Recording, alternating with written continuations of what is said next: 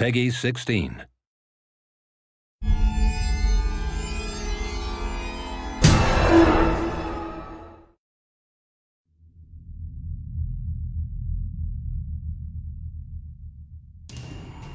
はい、えー、そうですね、えー、と大きくは簡単に分けてしまうと、えー、受動的に楽しむものというのと、まあ、能動的に楽しむものという違いがあるかなと思います。まあ、ホラーっていうのは、えー、怖いっていう風になってかまあ、怖いという感情自体をそもそも楽しむものかなと思うんですけども、まあ、サバイバルホラーっていうのはその怖いシチュエーションになった時に、えー、じゃあ自分だったらどうやって生き残らなきゃいけないんだろうっていう風に考えて行動を起こすっていうところが大きな違いかなと思ってます。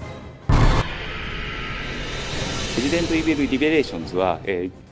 えー、RE シリーズの世界観の中でいくとバイオ4とバイオ5の中間にあたります、えー、皆さんご存知かもしれませんが、えーと、バイオ5からですね BSA という対バイオテロ部隊が、えー、登場しています。この BSA がですね、えーと、どのようにして今のような組織になっていったのか。でその組織が生まれる時にどのような、えーと、謎が、え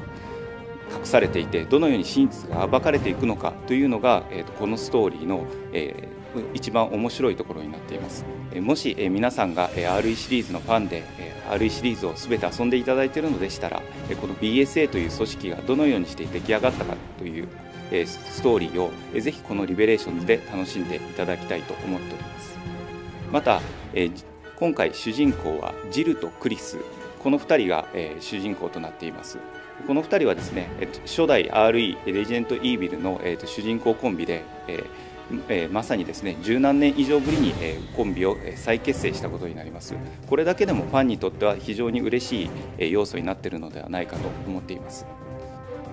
もし、えー、レジデント・イービルシリーズをですねえこれまで遊んできたけれども、えー、最近のレジデント・イービルシリーズ遊んでないという方いらっしゃいましたら、えー、ぜひこの作品から、え、もう一回レジデント・イービルシリーズを遊び始めていただければなと思っています、え、主人公はジルとクリスですが、え、それ以外のキャラクターは、えー、と全て新しいキャラクターになっています。えー、パーカー、ジェシカ、キース、クエントなど